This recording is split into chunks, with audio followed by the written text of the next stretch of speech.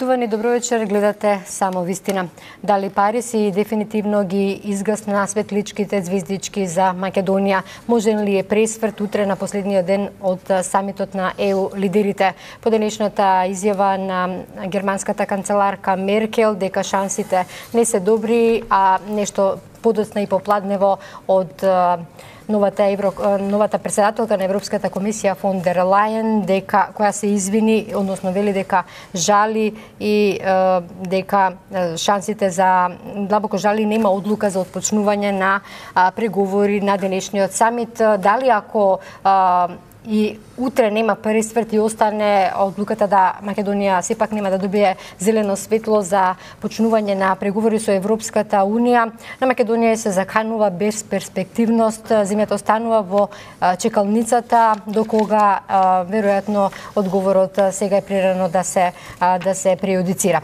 Вечерва околу ова и други актуелно политички теми ќе дебатираме во само вистина со професорот Димитар Апасиев од партијата Левица и со аналитичарот Петар Арсовски. Добре дојдовте во само вистина Апасиев и Арсовски. Со вас би почнал Арсовски, ако денот се познава путрото, дали можеме сега да бидеме сигурни дека известно дека утре дефинитивно нема да има датум за почеток на преговори?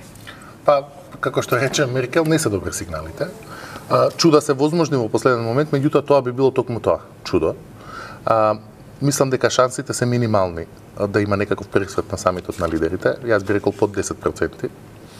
А бидејќи не верувам дека ништо е невозможно, но многу е тешко во оваа ситуација да се случи некаков пресвет, особено што а, релативно сигналите од Франција се релативно тврди и на амбасадорските состаноци и на министерските состаноци и на заедничката влада во Тулус помеѓу Меркел и Макрон.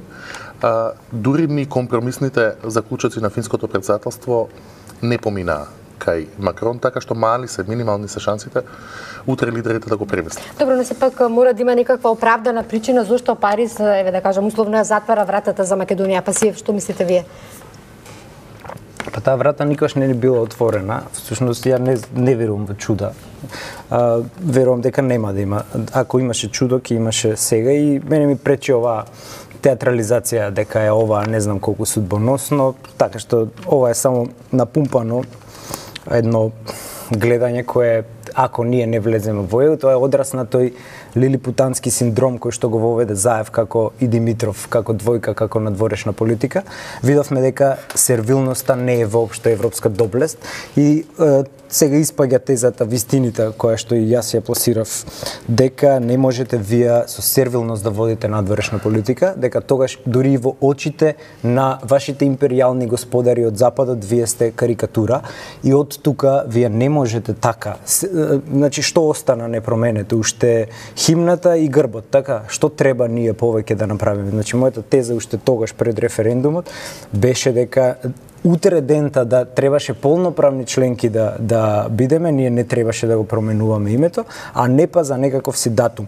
И бидејќи јас сум познат за разлика од Педжа по својата политичка коректност која е познат, јас сум познат по својата политичка некоректност и еве ќе кажам дека а, има една условно кажано, тоа е теза можеби на Мухич и на други тука некои теоретичари дека во Европската унија има антиисламско расположение И поради тоа, Турција е веќе 30 години во оваа фаза на преговори, колку за споредба Турција во 87 година има кандидатски статус, во 2005 година има почеток на преговори, значи пред 15 години, и има од 35 поглавја само едно затворено поглавје. Можете да замислите колку е тој процес. Западен Балкан е перцепиран како а, како гето во Европската Унија, така не перцепираат.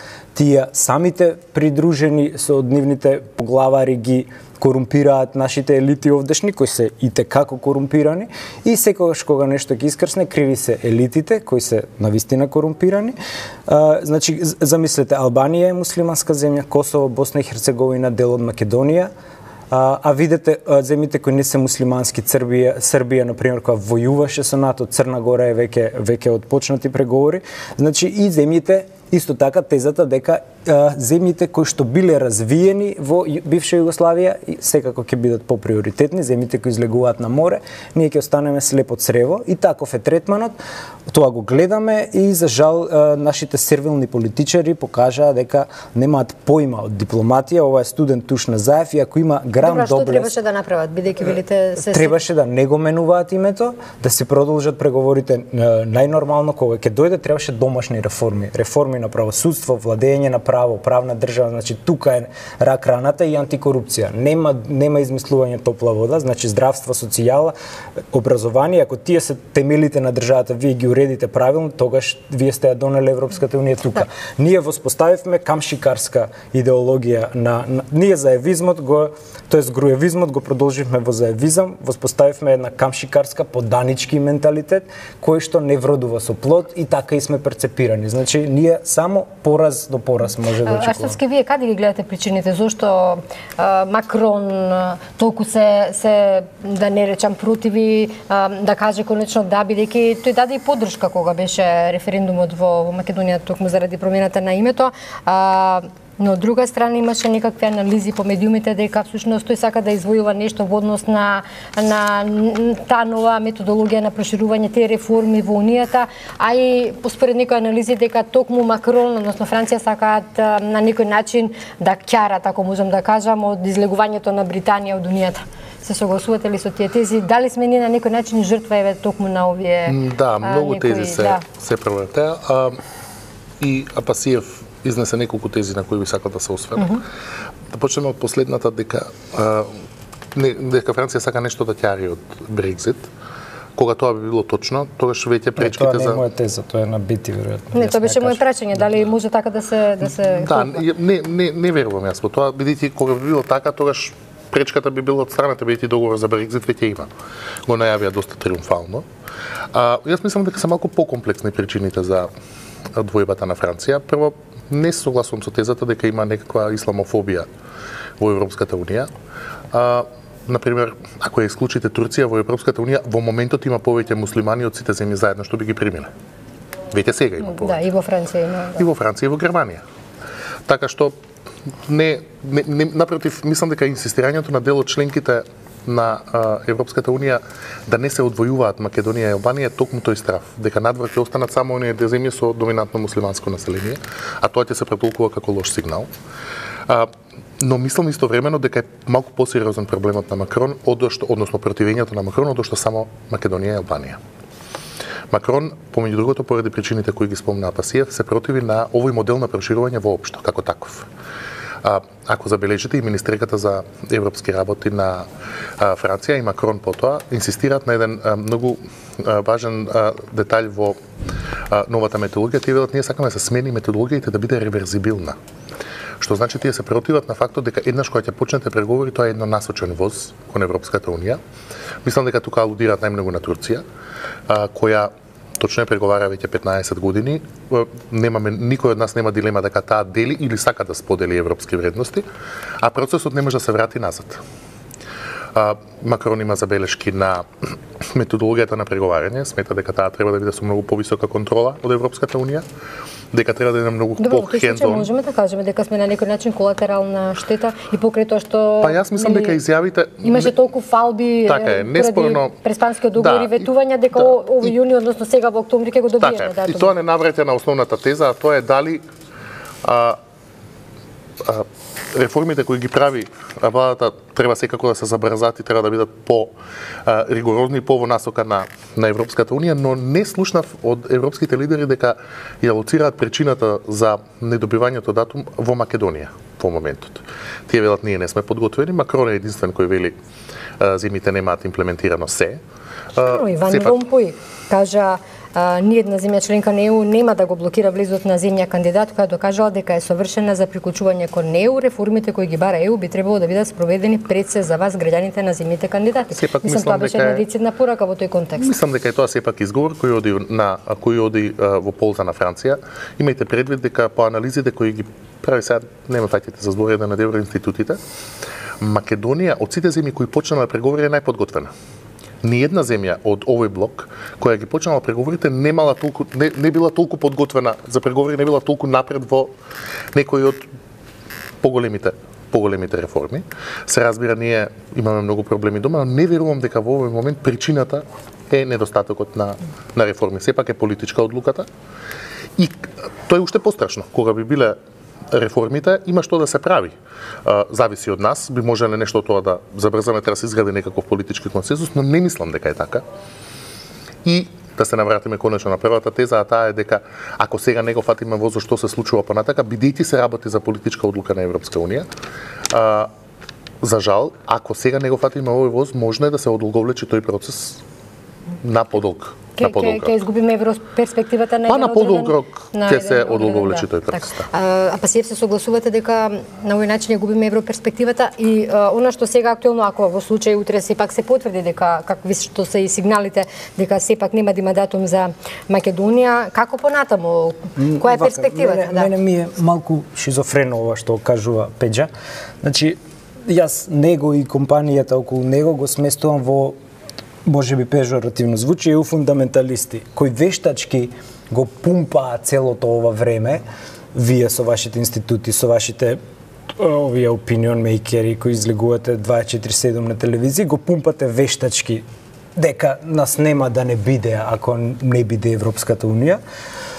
И од тука преголеми се очекувањата на народ и сега го кажуваме као нешто судбоносно, ништо нема да биде. Како кога не добивме покана у Букуреш за НАТО. Значи, нема да добиеме покана, да, точно ќе се европската перспектива за подолг временски период за Македонија ќе останеме во чекалната и што сега? Да фате да да умреме ли треба? Значи, можеби нашите деца ќе влезат во европската. Јас не верувам дека по 20-30 години ние ќе влеземе во Европската унија, зависно од тоа како се одвиваат геополитичките е, превирања и тука е всушност двојните стандарди на Европската унија кои како значи кога вештачки се пумпа некоја лажна еуфорија и одеднаш кога ќе добиеме студент туш, тогаш виновен не е Макрон, па за Хан тогаш ако ви текнува во пржино му ваде афери дека Хан е виновен, до тогаш беше он спасител, наеднаш стана виновникот и грешна е тезата на на Педжа дека недостатокот на реформи не е всушност причината, да, тоа е причината, Тоа е тоа што цело време го тврдиме, значи немате реформи, немате исход, името беше колатерална штета, името е најголемата грешка. Значи, и за тоа некој ќе мора да понесе не само политичка, туку и кривично правна одговорност, затоа што а, не се почитуваа референдумските резултати. Еве Педжа како еден од најголемите промотори на а, северно-македонскиот референдум кој беше неуспешен, нека каже во која европска држава тоа не се почитуваат референдумски резултати, така што а, владата на Заев не испорача ни Р од реформи, Тоа е тотално неспособна влада која најнеспособна влада која сме ја имале од е, осамостојувањето до денес. Освен за лични бизниси, народот нема никаков кјар. Еве денес дека траат овие процеси, видовме дека е пуштен закон за психотропни субстанции каде што се монополизира бизнисот на фамилијата за марихуана, а дечки во паркови ќе ги апсиме за еден джоинт, така што а, се ова е од лукративни причини, нема ни Д од државотворност, тоа е тој измекерски менталитет кој го промовираше Димитров а, и а, неговиот а, давач на шанса Заев, така што со сервилна политика до тука можеме. Заев да има грам доблест уште по авионот на Твитер ќе соопшти дека си дава оставка и дека распишува предвремени избори. Добро. Не знам дали колку се согласувате со со ставовите на па не првпат првпат ме класификуваат како е фундаменталист, не знам што да мислам по тоа. По тоа мислите? Кажи што што мислиш. Ја така те перцепирам. Да, да, окей, окей, се разб, се разбравме. А, види, а, да можевме да направиме нешто без Европската унија, ќе го направевме до сега. Јас, мојата констатација дека на Македонија е потребна Европската Унија дури символично, како надеж за подобар стандард и подобри вредности, ја темелам на некаква емпирија дека ние сме имале до повеќе шанси да направиме домашни реформи и секогаш реформите се движеле побрзо кога европерспективата се засилувала секогаш се движеле поспоро, односно назадувале кога европерспективата ќе се одземе. Од таму не се согласувам со тезата дека ништо драматично не се случи во Македонија 2008-2009 после Букурешт. Македонската политичка сцена пред се Груевски, кој дотогаш беше златното момче на меѓународната заедница со исклучително успешни реформи, ти ги знаеш подобро бидејќи си економист, да не збориме за фискализација, за ДДВ и така натаму, се претвори во а, најголемиот диктатор на кого целата меѓународна заедница му свете грб. А, одземајќи ја европската перспектива на Македонија не како некаква инфузија на дека ние ќе станеме подобри луѓе кога ќе влеземе во Европската унија или како некакав генетска а, инфузија, но на чисто символичен начин, одземањето на таа перспектива ја однесе македонската политика во многу голема декаденција. Авторитарна, тоталитарна, а, национал-популистичка, како сакаш наречија, а, и а, јас тврдењето дека нас ни е потребна европска перспектива за да правиме реформи го темелам на таквата на таквата да, емпирија. Не, не ја спорам таа теза, ти се фати за теза која ја не ја спорам. Па, не, поради тоа ме нарекуваш еу фундаменталист дека вештачки надувуваме а, дека на Македонија е потребна европска перспектива и дека а, лажно представуваме драматично дека ако ја нема, се ризикува македонската домашна политика. Јас тоа го темелам на доказ. Имавме еден период 2008-2009 кога се одзема таа европерспектива, македонската политика отиде по ѓаволите. Добро, јас не знам колку ќе Така што во таа смисла да, да из, извини. Се согласувам дека а, недостатокот на европерспектива не е а, изговор да нема реформи. Тука сме на иста линија. Јас мислам дека македонската влада треба да прави многу поагресивни и многу поголеми реформи. Проблемот е што цитирајте ги овие, цитирајте две изјави кои велат и тоа конкретно Макрон и уште двајца политичари кои велат не ви се дозавршени реформите, не може да се взимаат изолирано ад катедра. Да, на тие две или три изјави имаше 30 изјави кои велат Европа е виновна. Во моментот не и не велам дека Македонија направила се, но во моментот причината поради која не добивме датум не, јас мислам дека не се неисполнетите реформи. Тоа за нас не беше сериозен Кои реформи? Може да ми кажеш реформи? Кои реформи? Неисполнетите реформи. Добро, може би може би поточно да се каже дека реверзибилен процес имаш. Имаш реформи кои диктаторот Груевски како што го викаш, од кој не ти сметаше да зимаш хонорари за време на неговото владење преку Genesis, како ти се викаше таа агенција во време на диктаторот Груевски, кој беше бил добро момче, постанал диктатор, Аха. преку Дуи, кој, кој македонски пошти, кој ги застапувавте таму им правевте пиар стратегии, значи кога дава Груевски пари не е тоа диктатор, од кога падна сите го викавме диктатор, тоест ја го викав цело време. Аха. И мене ми е смешна таа теза дека ништо бе не се спромени. Затоа што немаше хонорари не, за вас. само само да. дозволете ми. Ништо не се промени, ама сега барем сме слободни. Не, не, јас сум бил слободен да го критикувам Груевски у време на најголемиот Зенит која бил умокита, како што го викаш диктатор.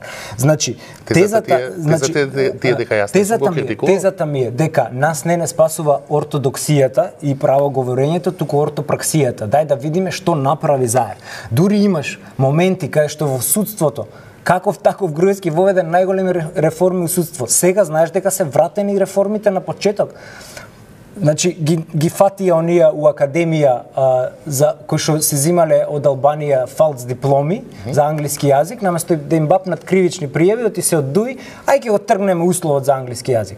Немало со шестица просек да ставаме суди кои ќе бидат корумпирани, дај бе тргни го ова со осмица просек. Значи сега имаш назадување на реформи, немаш не само што немаш реформи, немаш дури такви придобивки од диктаторот се сега уништени, отидени во, не знам во, во што очекуваш од мене да ја бранам владата? Не, па ти до сега ја браниш владата. Не, јас ја бранам значи, европската перспектива на Македонија. Не, не, не, ти си апологет на владата, реално, и затоа мене дури ми пречи кога те представуват како независен аналитичар. Мене, еве, не ме представуват како независен, јас сум левичар, така? Ама такви независен, што школа е тоа аналитичар да видиш, да одиш 24 сати од емисија у емисија и да пумпаш вештачки. Значи понеделник секој пиеш кафе со Шекеринска, со Димитров и после си независен аналитичар. Како бе така независни станавте сите аналитичари? Еве, ја не сум независен. Ја кажувам дека сум зависен и ја промовирам левичарска идеологија Не пиете кафе вие, Димитар, Димитар со никој од политичарите? Не, не. Не пијам со секој кој што ќе ме побарал. Да меѓутоа, моите моите односи се е, по, политички односи. А Педжа не е политичар, он не излегува на избори утре. Значи он креира јавно мислење преку фейк информации, кои што, значи, е, како беше таа у 2000 и која година? Бучковски ли беше тогаш, кога ве фатија со фабрика аферата? Добро. Фабрика, значи после 6 новинари од наместо дома да сидат, прават пиар стратегија како да менаџираат кризи они после тоа. Значи, такви ликови пумпаат вештачка атмосфера дека живот и смрт е датумов, бре мајката. Значи ние мора да се осврнеме, значи да вратиме вербата во народот дека ние како народ можеме да обстоиме и без ЕУ, Тоа, и без ток, НАТО. Токму тоа и Значи, беше моето прашање. Што всушност сега? Еве не се знае како што и кажа и Арсовски. Не се знае до кога би па можело да да останеме во да очеколницата. ако не е Како понатаму? Како гледате како гледате на тоа како треба да се покрене економијата, како да трнат реформите, како да им обезбедиме подобар стандард на граѓаните? Пича, не знам сега дали ќе сакаш да Не, реплицираш? да, мислам дека би ја потрошиле непотребно емисијата, Така на- се hominem. прашањето, да. А, ба, не знам, Не ја баш, поминам, ја ти го спорам кредибилитетот да ја критикуваш унијата, кога предходно си дал се за да ја глорифицираш, ме разбира. Ја никад не сум ја глорифицирал. Знам, и секогаш сум бил критичен не за мислам тоа. дека добро ќе ја потрошиме емисијата ако си го напаѓаме еден на друг кредибилитетот, бидејќи ти настапуваш од позиција на политичка партија. Добро. Јас не. Во таа смисла, ти имаш повеќе конфликт на интереси околу позициите и идеологијата на твојата политичка партија, одошто јас. Тој не сум член на ниедна политичка партија. Така што не мислам дека е паметно Да колку Божиновски што не е со ВМРО, така и ти не си со СДС. јас Се правиме кажам- при очи слепи. Еве ти кажам дека не сум член на ниедна Па добро, ти може формално не си член, ама ти ја Ти настапуваш ти им, го, им го правиш целиот пиар, ти со со знам- Забрчанец, не Коста зошто- Петров и овие им го правите целиот пиар на СДС. зошто се и сега на- кога нешто ќе киксне од тоа што вие го правите, одма се изземат. Е, па и таа критика ја не ја прифаќам, тоа е критизерство или Дали тоа е сметаш? лицемерна критика, ме разбираш? Добре. Океј. Повторно не нема да се расправам ad hominem. А дали сметаш дека е под ќе би била подобра ситуацијата за Македонија ако не добиеме датум? Не, значи не ме прави дека сум евроскептик. Јас сум за европска перспектива, за разлика од НАТО, што сум експлицитно дека против. ако добиеме датум е многу подобро одошто ако не добиеме датум. Точно. И дека ако не добиеме датум, одземањето на европерспективата носи ризик македонската политичка елита, како еднаш предходно, да западне во нова политичка декаденција, наречија сегаш, сега, левичарски популизам, на- наречија нов авторитарен бран, како сакаш Заев наречија? нема врска со левица, така да не го наречија социјал-демократија. Немам ја намера тука да се расправам за што има или нема врска, Заев или СДСМ. Не, моето прашање беше е каде дека- треба да се фокусираат било која власт да е во Македонија бидејќи се изгубени ако многу нема години. датум, да. ќе има многу голем притисок. Ќе има нова политичка криза во која ќе има притисок за нови предвремени парламентарни избори. А, голем дел од кредибилитетот на владата сегашна ќе биде нарушена, бидејќи таа инвестираше голем дел од својот кредибилитет токму во оваа приказна дека а, компромисот со Грција, добрососедскиот договор со Бугарија и незините досегашни потези ќе донесат членство во НАТО и почеток на преговори со Тоа Европската ветувања, очигледно не се исполнија тие што нема да се исполнат, ќе го нарушат кредибилитетот на владата и на долг рок нема да остане одржлива позицијата, ќе мора да се оди на предвремени избори. Кога вие Прашањето е кога може тие да се случат. Треба да се направи некаков политички консензус дали е попаметно да се случат пред членството во НАТО или после членството во НАТО, имајќи предвид дека големи политички потреси можат и тој процес да го нарушат. Па нели требаше Меѓутоа- во НАТО веќе да сме влезени? Така исто го лажевте народот тогаш дека после референдумот и ако гледаш ти сега согласно референдумските резултати ние треба да го откажеме членството во НАТО. Ние Не знам немавме како ги разбираме референдум. референдумските резултати. Како сакаш да ги разбираме? По устав ја ги разбирам. Ти како ги разбираш? Во Уставот не, до, о, повторно нема да се расправам за референдумот според мене е индикација дека луѓето сакаат во ЕУ и НАТО. Како е индикација? Како- Неуспешен референдум. како- како- е? Како е тоа Како неуспешен индикација? референдум? Па така е неуспешен референдум. А Немаш цензус, нема. А што се на Димитров тезите колку па вие вие го лажевте Заев да дава такви смешни изјави дека милион луѓе ќе излегле на гласање на, на референдум. Колку излегува на гласање? Океј. Од тие што Ти беше најголемиот апологет, тоест Значи Северно Македонец, како да ве наречам, не знам ни јас. Значи ти беше најголемиот дека готово после референдумот се ни тргнува. Еве, видовме га ништо не ни тргнува. Ако имаш неспособна влада, не може да ти тргне. Тоа е тезата која. Јај сега да отидеме на избори. Што? Што ако ќе добиеме не мислам дека можам да се расправам вака со тебе на ниво на политички пароли. А што политички ако, ако пароли? сакаш, па Ама ја политички пароли. зборувам, какви Па не, емпириски не зборуваш. Ама ти не зборуваш емпириски затоа што го вергуваш како стихотворба од телевизија на телевизија тоа што вие у агенда да го пласирате како opinion makeri за да ве шеруваат. После аналитичарот вој тоа кажал и тоа станува јавно мислење и не знам што. Значи знаете вие учите на тие семинари по учебници Според како се тебе, креира Вина, според јавно тебе, мислење. И сега, јас Вина- тоа го спорам, дека не можеш ти, кој си одговорен за тоа јавно мислење, да биде такво какво што е сега, одеднаш кога ќе киксне, па си ги испереш раците и речеш елитите корумпирани се вака не не и вие придонесовте во сета таа безперспективност, апатичност на народов која што е доведена, значи луѓето гледаат да избегаат од тука, не млади, не стари, сите гледаат да избегаат, затоа што станавме башибозук. У време на диктаторот Груевски барем имаше систем на крадење. Сега имаш само крадење без систем. Ова е баш ибозук, вакво нешто немало, нити ќе има некогаш у Македонија. Или у Северна да не требаше да речем. Како сакаш. Се обидувам да најдам конзистентна мисла и теза. Арсовски ќе мораме да одиме со блокот реклами. Не, еве за НАТО, ајде. Нели требаше до сега да бидеме у НАТО влезен? Па, зошто еве, мислиш дека- 2019 зошто мислиш ќе дека не сме? Еве, кажи ми, ти си ти го прокламираш. Затоа што Шпанија не може да го А, ратификува Шпанија протоколот. не може. А зошто мислиш ти? А? Мислиш дека има некоја друга причина? Не, еве, еве нив ги нив ги прашува четири земји, кажуваа во денеска и јуни. францускиот Телма кажуваше дека сме добиле ние веќе датум ти Еве те- текнува. еве те прашувам, Ние не нели се, се- се сликаа вака со Ама Се извини, лајкови. вака не може да се расправи, ти ги замени тезите во леп. Што ги замени в тези? Ти викам, а, јас мислам дека не сме добиле НАТО, затоа што Шпанија оди на избори, не може да се остави влада. Таму нема кој да го поднесе протоколот за ратификација до парламент. До парламентот, да. Физички треба да- владата дај да го поднесе. да. Имаш ли алтернативна теза? Да, да дека Повели. ние треба да го повлечеме барањето за, За членство во НАТО. Да, Одлично, ти и резол- Солза Грчева сте на иста линија. Не, ние гајле Добро, Левица е против членство во НАТО, да. Во, Не, со Рашковски сум на иста линија. Ти текнува на говорот негов каков беше анти-НАТО за време на бойкотирам кампањата Не знам, ме прашуваш зошто мислам дека Македонија не е влезена во НАТО. Јас ти кажувам една теза, наспроти таа теза ти имаш космички заговор. Каков Во космич? ред. Па не знам, А, зошто да идеме мислиш дека не сме блокот реклами, само А последната не сме информација од Брисел на пресот на Јункер и на Туск предходно на Макрон и на Меркел Македонија не е спомената. Воопшто а, главна тема на овие пресконференции беше Брекзитот. Останете со нас, се враќаме по рекламите.